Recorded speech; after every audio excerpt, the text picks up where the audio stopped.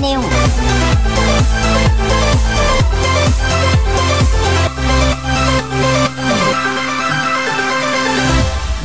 เป็นอีกหนึ่งผลงานเพลงที่พร้อมนำเสนอมาก ๆ เลยล่ะค่ะสำหรับการถ่ายทำ MV เพลงทั้ง 4 เพลงของดรยุ้ยกันธิชาชิมซิริอดีตนางงาม Mrs. Universe Thailand ที่งานนี้มีการรวมพลพร้อมทัพนักแสดง ได้มีการถ่ายทำ MV เพลงยิ้ม เพลงพรหมลิขิต เพลงไม่กอดก็อุ่นใจ และเพลงทิ้ง ซึ่งเป็นเรื่องราวซีรีส์ที่ถ่ายทอดความรักของหญิงสาวคนหนึ่งผ่านบทเพลง โดยเนื้อหาเพลงดังกล่าวจะบอกเรื่องราวความรัก และเป็น moment ที่เกี่ยวข้องที่เกิดขึ้นในความทรงจำจนกระทั่งเธอบังเอิญไปเจอชายคนนั้น และภาพที่เห็นเขามากับหญิงอีกคน เธอจึงตัดสินใจ ไม่ไปเจอเขาและทิ้งทุกอย่าง และนี่คือที่มาของเพลงนี้ค่ะ และงานนี้เรายังได้พบกับคิวทองอย่างพี่ต้นชานนสมเริกและคุณนายธนสรเลือลาวรางกูลเจ้าของบริษัทเอ็นดูจำกัด ดูแลภาพลักษณ์ของ MV พร้อมครูเอ็กพัทรสติผู้แบบท่าเต้นพร้อมทีมงาน dancer จ่อยแดนซึ่งงานนี้เราจะเป็นอย่างไรไปฟังเลยดีกว่าค่ะ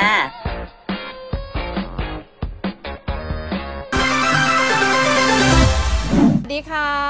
ยุ้ยค่ะสำหรับวันนี้นะคะยุ้ยก็ถ่ายเพลงยิ้ม เพลงพรหมลิขิตไม่กอดก็อุ่นใจและเพลงทิ้งมันไปนะคะ ซึ่ง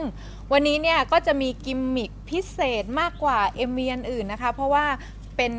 ถ่ายเนื้อเรื่องเป็นเหมือนสไตล์ถ่ายซีรีส์นะคะ เรื่องราวก็จะเป็นในเรื่องของความรักเหมือนเดิมนะคะ ก็คือเรื่องมันก็มีอยู่ว่ายุ้ยเนี่ยเจอผู้ชายเจอแฟนนะคะ ก็เป็นพรหมลิขิตก็คือคนที่ยืนอยู่ข้างๆยุ้ยนะคะว้าวก็ได้รับเกียรติจากพระเอก จากประเทศฝรั่งเศสนะคะ มาเล่นใน MV ด้วยนะคะ แล้วก็หลังจากนั้นนะยุ้ยก็หลังจากที่เราคบหาดูใจกันคบกันมานานเนี่ย แฟนยุ้ยก็ได้ไปมีภรรยาใหม่ แล้วทีนี้ยุ้ยก็เกิดการเสียใจมากเลย แล้วก็ทิ้งทุกอย่างแล้วก็เกี่ยวกับการร้องไห้ ก็คือเรื่องราวมันเป็นเรื่องสั้น ๆนะคะ อยากให้หลาย ๆ คนนะคะ ติดตามเพลงนะคะ เพราะว่ามันทุกอย่างมันจะมีกิมมิคซ่อนอยู่นะคะ ซึ่งอาจจะตรงกับชีวิตใครหลาย ๆ คนนะคะ ก็แล้วก็ยุ้ยก็หวังว่า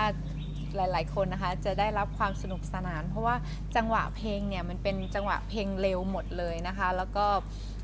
คอนเซปต์เนี่ยจะทำให้ดูแตกต่างกับ MV ทุกเพลงที่ทำมาค่ะ แล้วต้องขอขอบคุณผู้กำกับพี่ต้นด้วยนะคะ ซึ่งเมื่อวานก็มาเทนให้ถึงมาเทนด้วยตัวเองนะคะ ก็ใช่ค่ะ ก็พี่ต้นมีเทคนิคเยอะมาก แล้วก็ต้องขอขอบคุณพี่ต้นมากค่ะให้ก็จริงๆแล้วก็คือ นำเรื่องราวของของคุณยุ้ยเนี่ย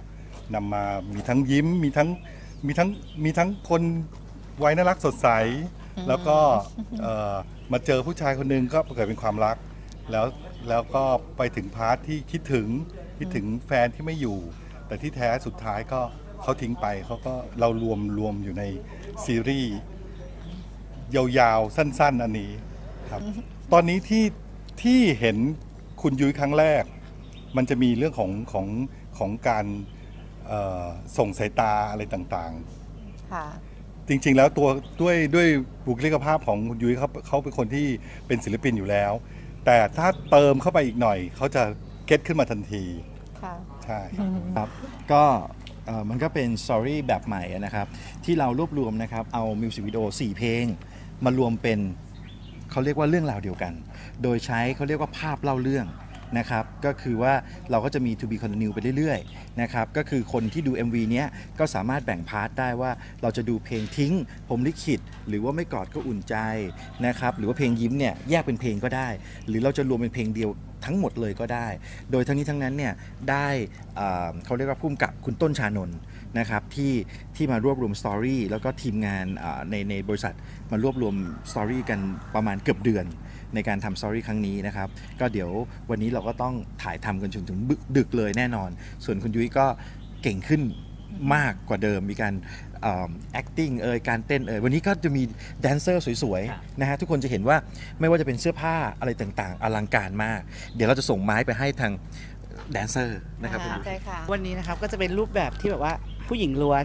จากคราวที่เราเคยเห็น MV ตัวก่อนๆที่มา MV ตัวนี้ก็จะเป็นผู้หญิงล้วนประมาณ 10 คน รูปแบบก็จะเน้นสีสันสดใส แล้วก็เน้นความ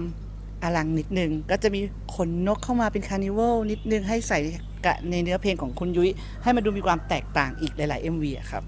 ก็ส่วนใหญ่ผมจะเน้นที่เพลงเอ่อทิ้งมันไปนะฮะด้วยด้วยท่าเต้นที่มันแข็งแรงขึ้น แล้วก็เป็นสไตล์ที่ไม่เหมือน 2 เพลงแรก ส่วนเราจะมาดูกันว่ามันจะมีท่อนฮิปฮอปด้วย ที่คุณยุ้ยจะต้องเต้นเป็นแบบสไตล์ฮิปฮอปผู้หญิงที่ดูแบบแข็งแรงแล้วก็ดู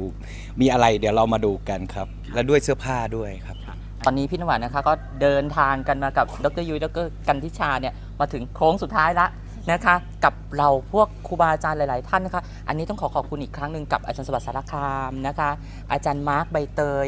ผู้อยู่เบื้องหลังเพลงดัง ๆ ทุกเพลงแล้วก็มาทำ เพลงเรียบเรียงให้กับดรกันทิชา ดรยุ้ยของเรานะคะ นักเฟอร์รี่หญิงคนแรกของเมืองไทยของเรามีอะไรเปลี่ยนแปลงตลอดเวลาไม่ว่าวันแรก ๆ ที่ถ่ายกันมาจนถึงทริปนี้แล้ว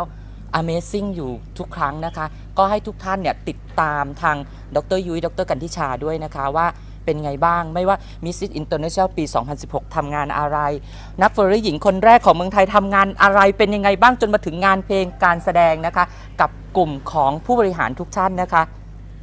Oh, she's a really nice singer. I like her voice and uh, she have a really good energy.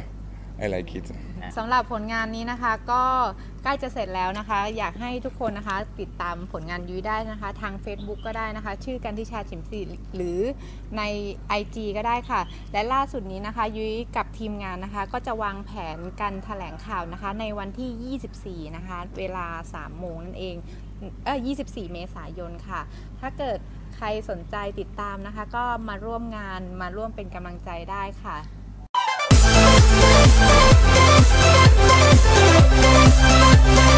ชั้น8 Thailand News